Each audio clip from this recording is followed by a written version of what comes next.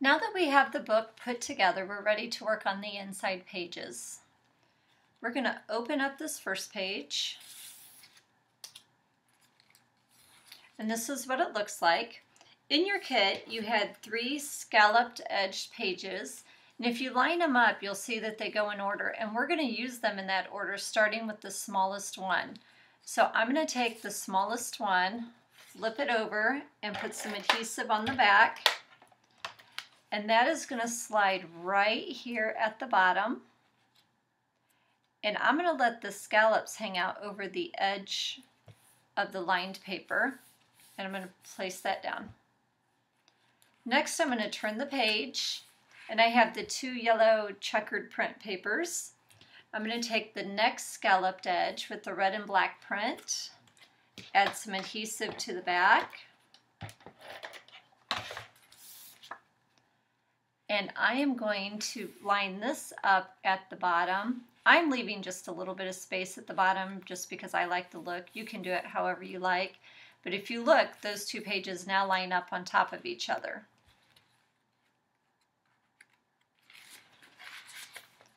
Now I'm going to take this last scalloped paper and add it to this last page, allowing it to hang out over the edge so that all three of those line up nice and neat. Now on the same page, I am also going to add this die cut tag. You're going to want to add your picture to it before you add it to the page. But we're going to take that tag and we're going to add a piece of ribbon to it.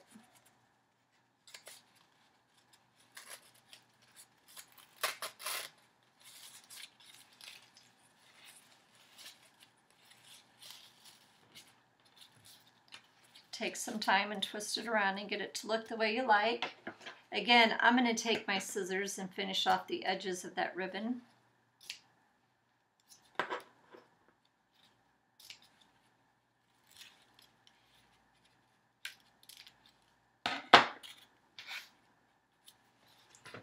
And then we're going to adhere this tag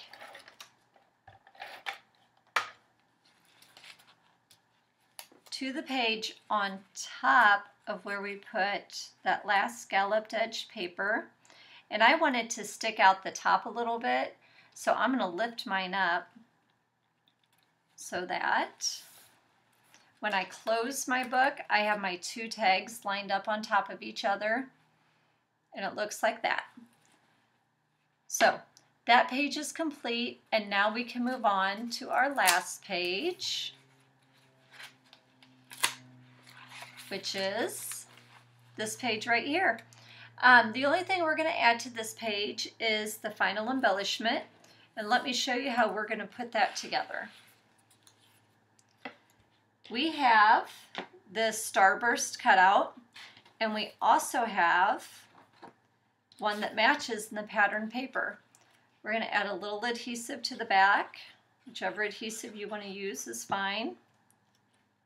And we're going to line that up right on top. If you notice, you're going to have a nice chipboard edge, which gives it a nice pretty border. We also have a circle cut that is the same size as the leaf. I'm going to add a little adhesive to the back of the leaf chipboard piece.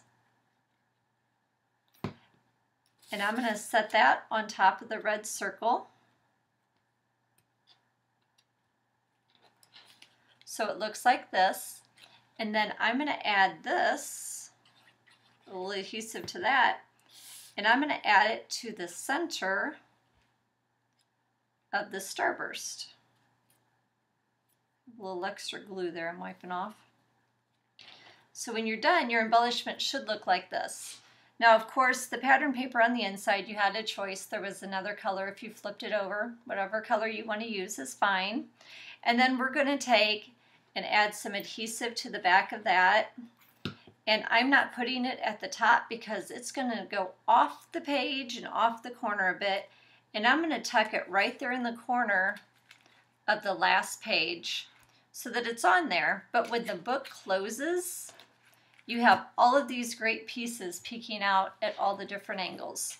So when you are done, your book should look something like this. Of course, you have creative freedom to put it together however you like but that's how the kit's set up and designed to look.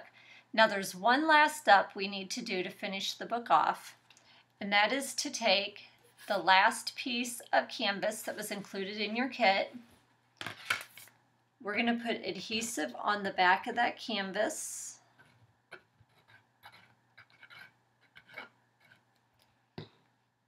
And we are going to line up the back of the book directly on top of that. And I'm going to flip it over so you can see what we're doing. And if you notice, I have it lined up flush with the bottom. That way, if I want to display it on a table and set it up, it's going to set up nice and neat, and it gives the book a nice sturdy finish. All you have left to do is to go through and add your photos and anything else you want. And that is the Autumn Canvas Kit book.